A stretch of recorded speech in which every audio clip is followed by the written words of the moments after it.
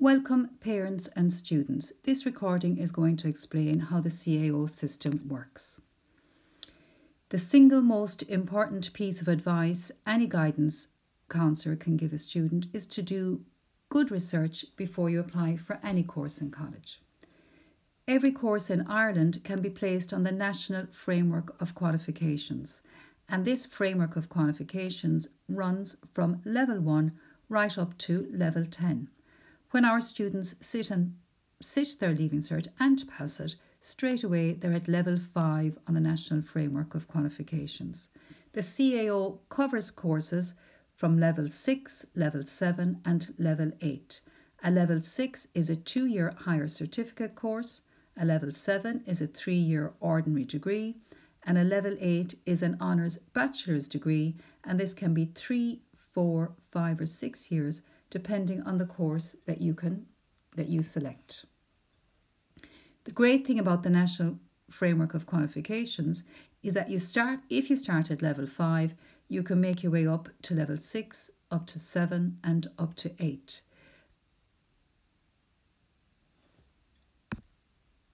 Great sources of information if you're doing research is the CAO handbook, the CAO website, speak to your guidance counsellor teacher, Qualifax, Careers Portal, and Access College.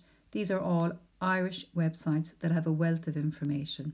If you're thinking about applying to go to college in the UK, then ucas.com is a great website.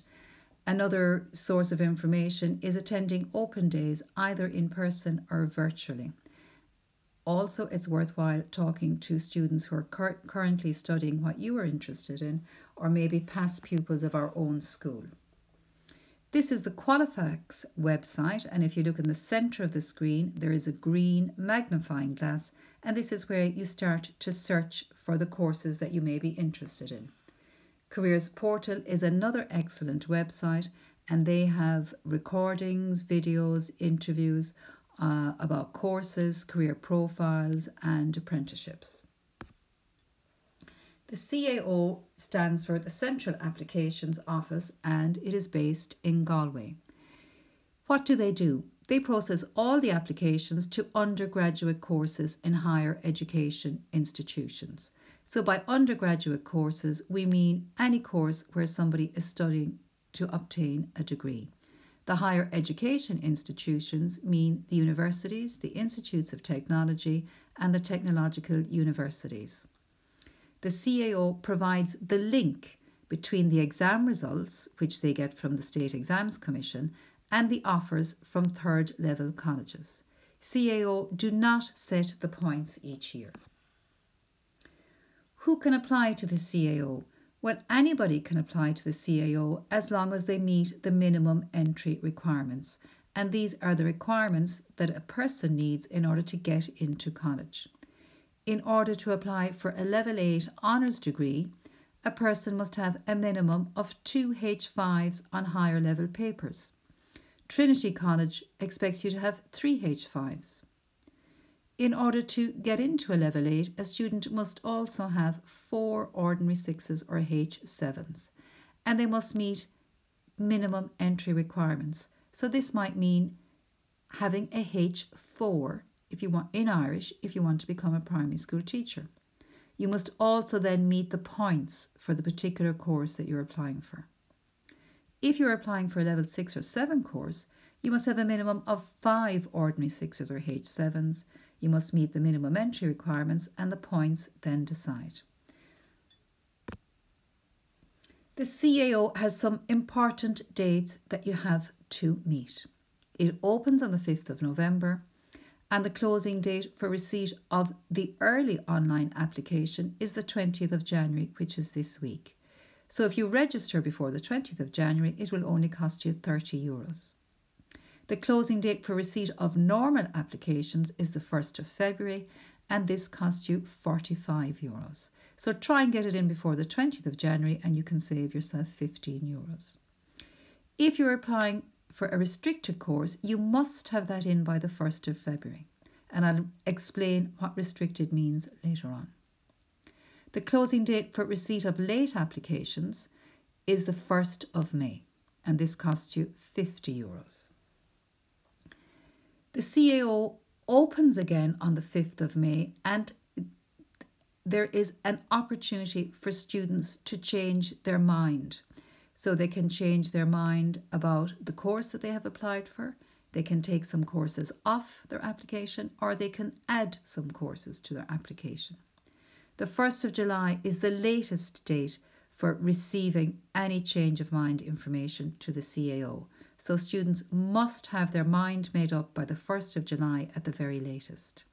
In late August 2022, Leaving Cert results will be out and the CAO will make offers of college places to students. The CAO are very strict about deadlines and it is very important that you meet all their closing dates.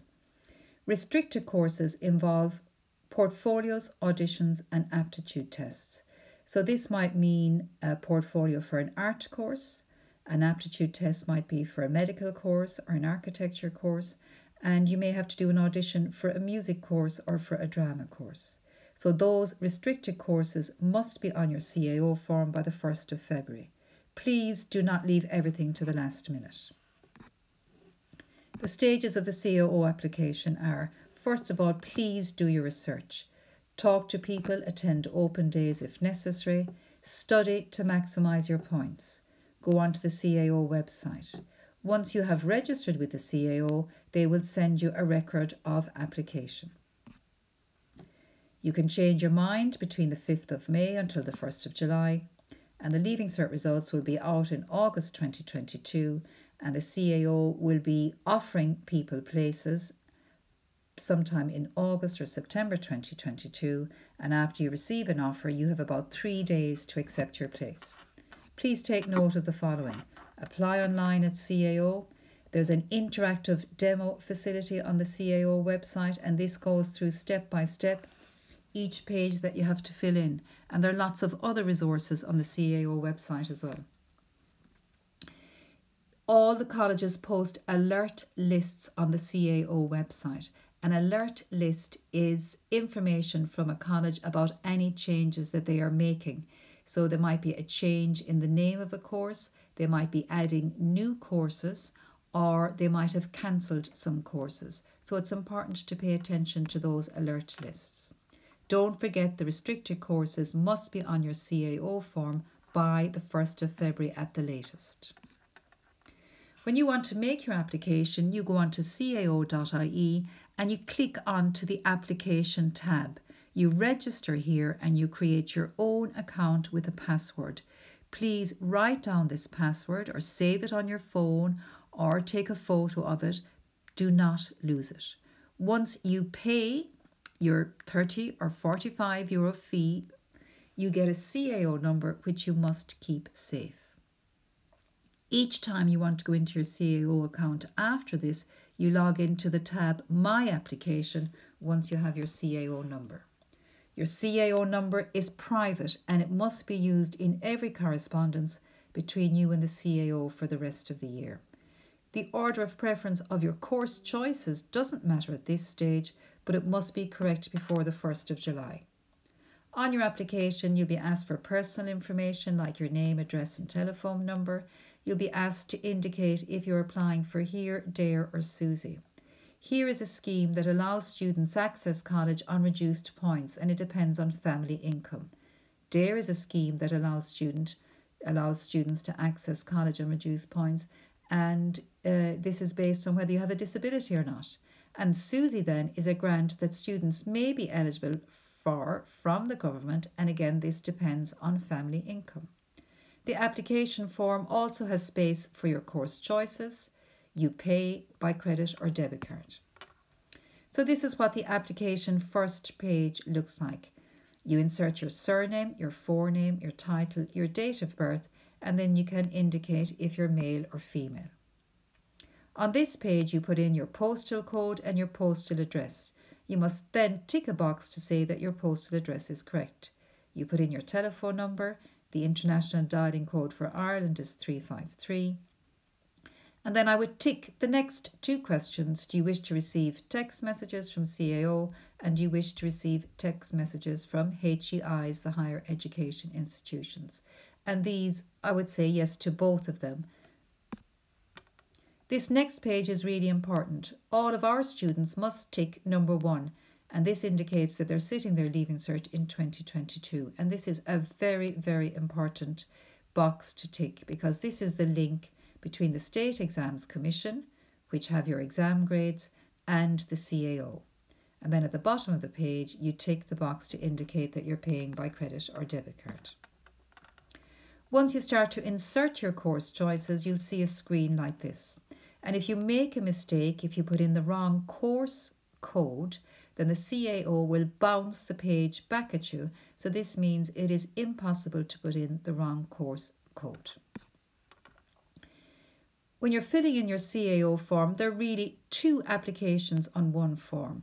There are two lists, one for level 8 and one for level 6 or 7. You can put 10 choices on your level 8 list and 10 choices on your level 6 or 7 list. So this screenshot might be what your application looks like.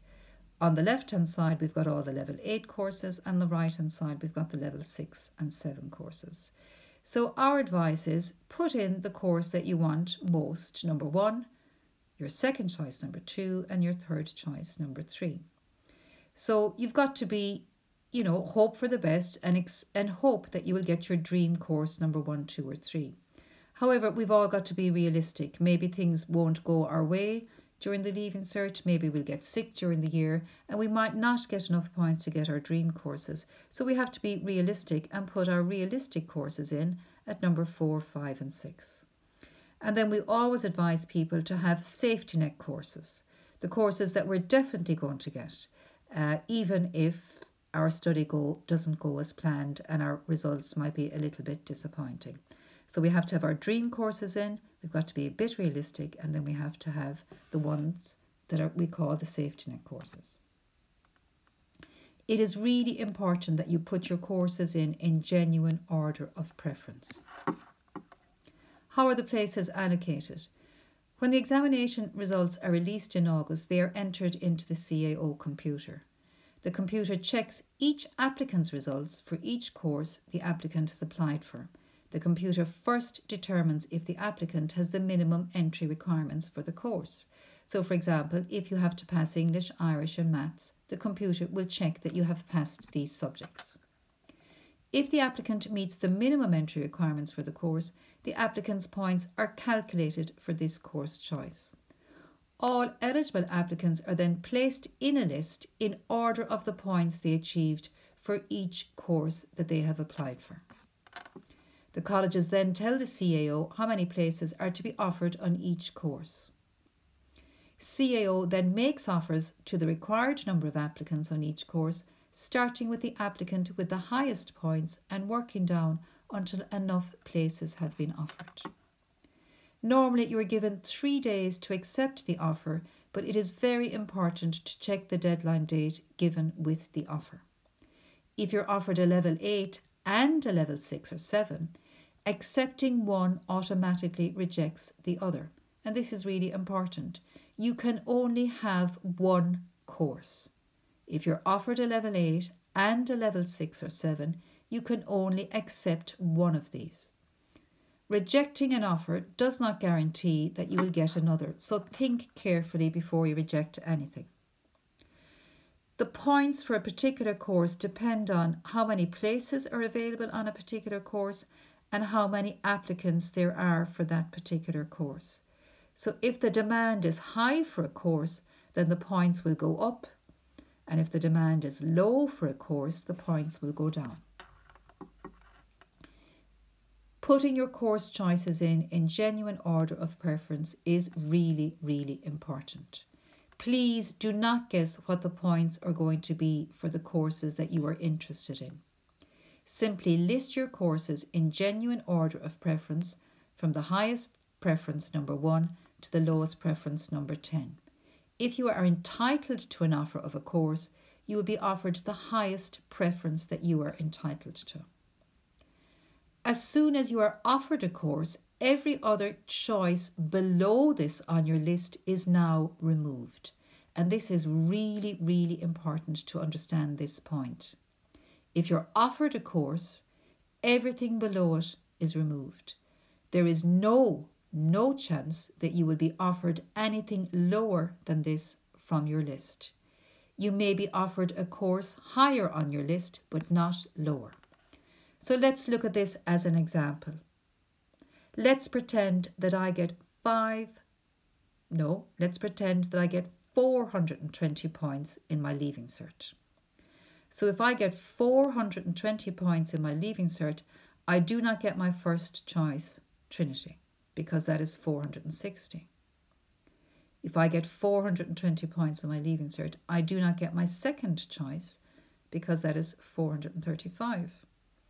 However, I do get my third choice, UL, University of Limerick, Industrial Biochemistry.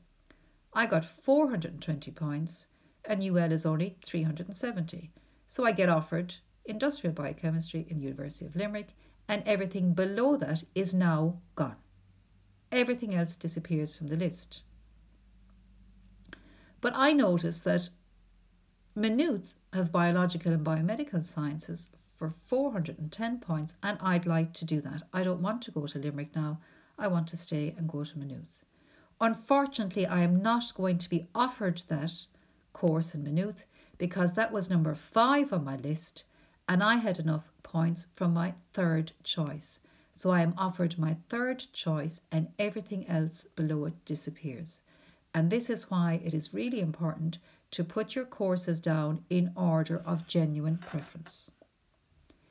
Some mistakes that people make. One, they don't put enough research into courses. They look at the title and not at the course content. So it's really important to go on the website and check out exactly what is contained in the modules. Another error is that some people list the courses in order of points instead of genuine preference. Some people underestimate their Leaving Cert results, others overestimate their Leaving Cert results. Please be realistic. Some people target low point courses in the hope of getting college places. Many students target level 8 courses only and ignore level 6 and 7 courses, thereby dismissing the ladder of opportunity and the national framework of qualifications. And then other students do not consider courses outside certain geographic areas. Some of the do's and don'ts. Do choose 10 options if at all possible. Do list courses in order of genuine preference. Do make sure to have other options if you do not get your preference, for example, a PLC course. Do check the alert, lists on the CAO website. Do not totally depend on getting your first, second, or ter- third choice.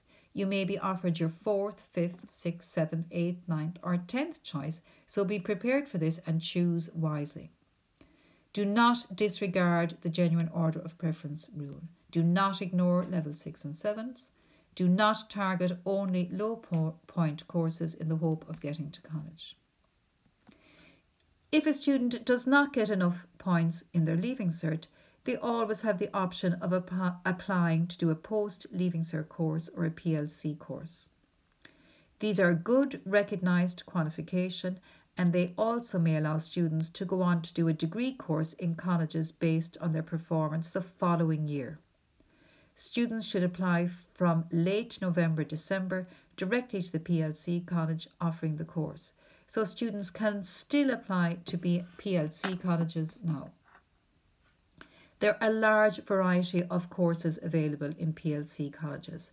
For example, business, art and design, media, beauty therapy, finance, travel tourism, social care, science, law, nursing, computers, and pre university courses.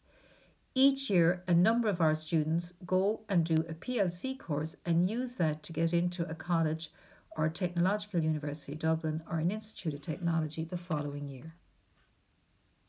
There are some uh, programs that allow students to access college on lower points. One is the Higher Education Access Route or the HEAR scheme, and this is based on students' family income. So, if you're below a certain family income, you may be entitled to go to college on lower points. So, there are some deadlines. You have to apply before the 1st of February.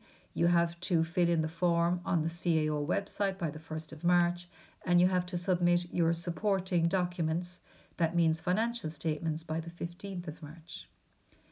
The Disability Access Route to Education, or DARE, is another scheme that allows students access college on reduced points. Again, you have to apply for the DARE scheme on the CAO form by the 1st of February. You have to fill in the forms online by the 1st of March, and you have to post any supporting document to arrive in Galway by the 15th of March. If you need to contact the CAO about anything, use the Contact Us facility on the CAO website.